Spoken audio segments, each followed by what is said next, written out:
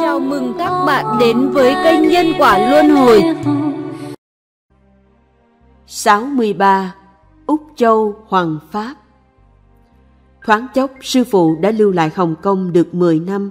Ngài tuy thân ở Hương Cảng, nhưng tâm thường nghĩ rằng đừng nói chi bắt câu Lô Châu, mà ngay cõi ta bà này cũng có nhiều nơi mà chúng sanh chưa từng nghe đến Phật Pháp. Nên Ngài nguyện đem hạt giống Bồ Đề gieo rắc khắp chốn. Năm 1961, bất chấp mọi gian khổ, Ngài quyết định qua Úc Châu Hoàng Pháp, nơi mà Phật giáo chưa hề được gieo duyên. Ngài đến Sydney và Melbourne. Thời ấy, người tin hiểu Phật Pháp tại Úc Châu rất ư là ít, nên không chùa am tự viện chi.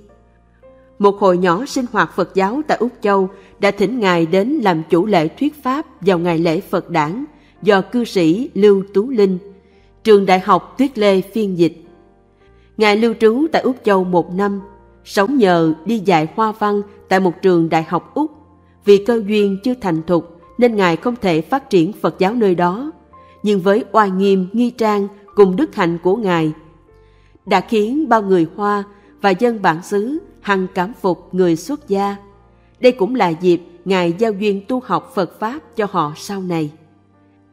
Năm 1962, Ngài từ Úc Châu trở về Khương Cảng và giấy thông hành vốn đã được lãnh sự Mỹ chấp thuận, nên vào cuối tháng 3, sư phụ đáp phi cơ đến Hạ Uy Di, nghỉ ngơi một tuần, rồi đến cựu Kim Sơn, tức San Francisco, Hoa Kỳ. ha 问什么的说